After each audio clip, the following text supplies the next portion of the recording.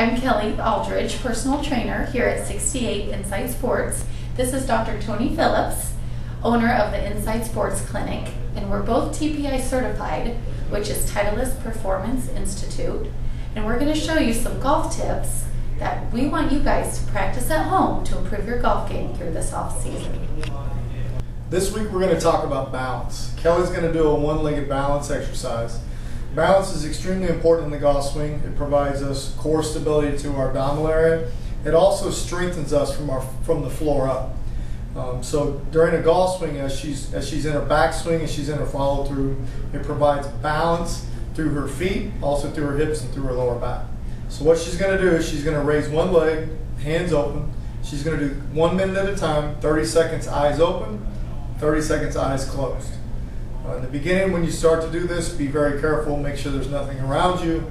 Um, if you need to keep your eyes open to do the whole minute, then we need to do that.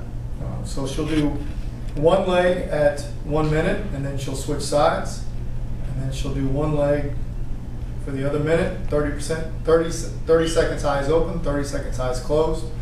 Uh, if you can master this, you'll master your golf swing as well.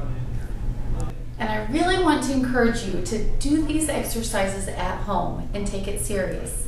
This will improve your golf game, but more importantly, improve your overall fitness. If you have any pain or discomfort, definitely stop the exercise. I highly recommend you do talk to your doctor and let them know what you're doing in this off season. If you have any questions, or any concerns or would like to come see the club, please come see us anytime. We're located here at Overland Park. Again, Will Shields, 68 Inside Sports.